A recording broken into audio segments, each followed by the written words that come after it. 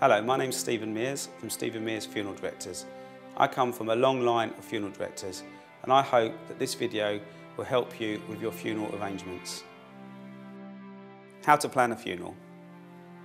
The way you would plan a funeral would probably depend firstly on where the person has died.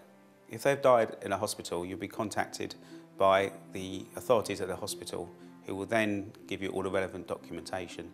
If the person has died at home, your first call should be your GP. Once the GP has attended, you would then contact your funeral director that you want to make the arrangements and they will attend the house or the home and effect a removal to their mortuary.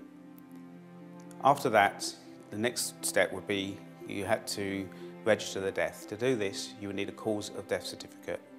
This you would get either from the hospital or from your GP. You would take this to the registrar and make the declaration. They'll then give you the documentation to take to the funeral director. Next thing you need to decide is whether you want to make a cremation or a burial. And this will obviously depend on your own or the deceased wishes. If you tell this to the funeral director, they will advise you on the local crematoria or cremation. You might then want to decide whether you want to have a church service or a service at the crematoria or at the, at the cemetery. These will be wishes that you will need to discuss with your family. Other considerations would be whether you want to have limousines to take, to take the mourners, whether you'd like to have a minister or a humanist, i.e. somebody who does not have a faith to take the service. All these you should discuss with your family and the funeral director. Other considerations that you might wish to consider are whether you'd like to have a coffin or a casket. A traditional coffin uh, would be mostly uh, what you would use. Um, if you would want to use a casket, you would probably know that before you see the funeral directors. For church service, you might want to have a, um, an organist to sing hymns um, or CDs of relevant music.